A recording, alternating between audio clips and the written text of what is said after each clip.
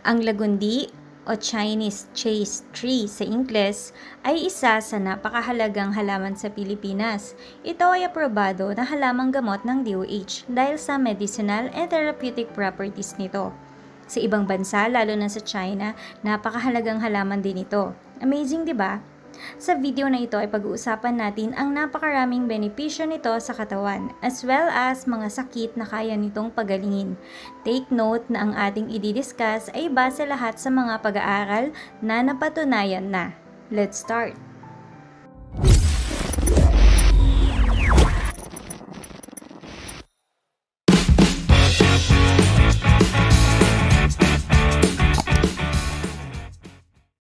Ang lagundi ay isang common na halaman sa Pilipinas. Ito ay madaling itanim at paramihin, madaling alagaan at kung bibilhin naman ay mura lang.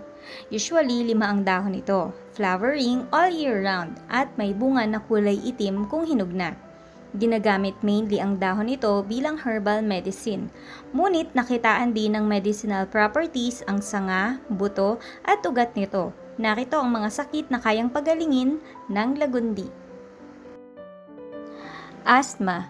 Ang lagundi ay isang natural na antihistamine na perfect para sa mga sintomas ng hika.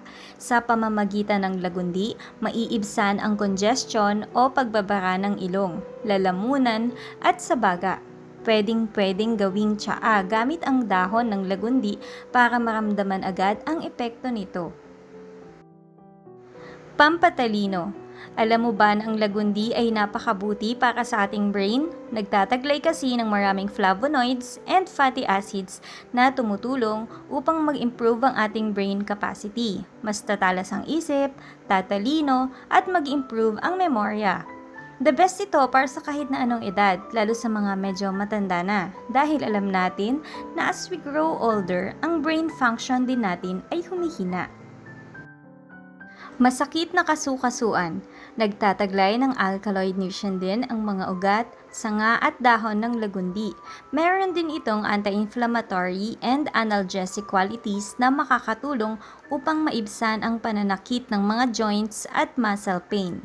Ginagamit din ito ng mga taong may arthritis dahil sa anti-inflammatory effect ng lagundi. Mataas na lagnat kung ikaw ay naapoy ng lagnat, mabuting magpakulo ng dahon ng lagundi.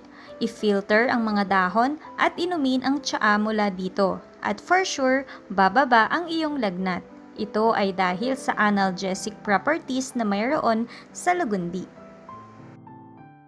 Tigyawat ang hormonal imbalance at mga fluctuations nito ay isa sa mga main reasons ng pagkakaroon ng tigyawat. Ang lagundi ay nakakatulong upang pigilan ang hormonal imbalance at pagkakaroon ng acne lalo na sa mukha. If you want clear skin, ugaliing uminom ng lagundi tea. Paninipis at pagkapanot ng buhok ang katas ng lagundi ay maaaring gamitin bilang hair tonic o pamahid. Ayon sa mga pag-aaral, ang madalas na paglaga ng katas ng lagundi ay makakatulong upang gumanda at kumapal ang buhok. Pinipigilan din nito ang hair fall o yung paglalagas. Sa India, madalas itong ginagamit sa pagkapanot ng buhok. Why not try it? Para sa baga, ang herbal tea mula sa lagundi ay napatunayan ng tinatanggal at pinapalambot ang mga namuong plema sa baga. Kiniklear nito ang ating airway at ginagawang normal ang ating paghinga. Mainam din ang lagundi sa iba't ibang sakit sa baga, gaya ng bronchitis at pneumonia. Ever notice na may aprobado ng mga gamot na gawa sa lagundi sa ating bansa? Isa sa mga naunang nag-aaral tungkol dito ang team of researchers from the University of the Philippines noong 1995. And right now, marami nang tumatangkilik sa lagundi-based medicines. Cancer ang ethanol extracts ng lagundi in vitro cytotoxic activity laban sa human cancer cell lines, meaning nakakatulong ang lagundi mapigilan ang paglaganap at pagdami ng cancer cells. Ayon sa mga pag-aaral, mabuti ang lagundi laban sa iba't ibang uri ng cancer tulad ng cervical, ovarian, breast, gastric, at lung cancer. What an amazing plant! Pampalakas ng resistensya. Lumabas sa mga pag-aaral na ang lagundi ay nakakatulong upang mapalakas ang ating immune system at mas maging resistant ang ating katawan laban sa mga iba't ibang sakit. Yan ay dahil sa immunomodulatory effects ng flavonoids at diterpenes na taglay ng lagundi. Isama na din natin ang taglay na maraming vitamin C nito. Saktong-sakto sa panahon ngayon ang lagundi. Masakit ng ngipin. Masisira talaga ang araw mo sa sakit na bunga ng toothache. Good thing, ang lagundi ay very effective upang mawala o mabawasan man lang ang pananakit ng ngipin. Pwede mong imumog o kaya naman inumin ang pinakuluan na dahon ng lagundi. Gawin ito tatlong beses sa isang araw. Pampagana kumain. Ikaw ba ay walang gana sa pagkain? O kaya naman, gusto mo medyo magdagdag ng timbang? Ang lagundi ay para sa'yo. Napatunayan na ang lagundi ay nag improve ng digestive system functions, as well as nagpapagana ng appetite ng isang tao. Sa ibang bansa, ginagamit ang lagundi para sa may mga problema sa kulang sa timbang. Mayoma para sa mga kababaihan, isa sa mga common na problema ang mayoma, lalo na habang tumatanda. Study shows na ang lagundi ay nakakatulong balansehin ang hormones ng mga babae na malaking factor upang hindi magkaroon ng mayoma. Binabalanse rin ng lagundi ang estrogen and progesterone levels sa ating katawan. Hormonal imbalance. Alam mo ba na ang lagundi ay napakabuti para sa hormones ng mga babae?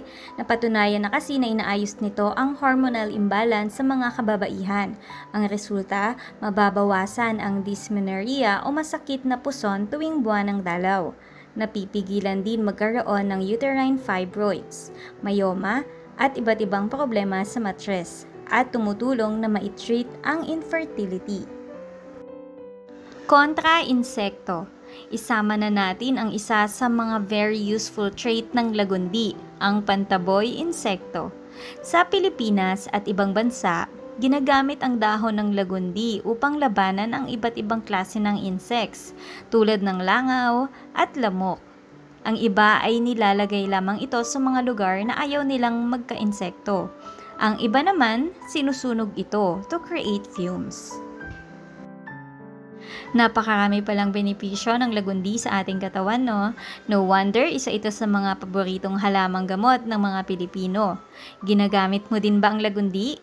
I-share mo ang experience mo with this amazing plant by commenting down below. If you enjoyed our video, please subscribe sa aming channel. Thank you for watching and have a nice day.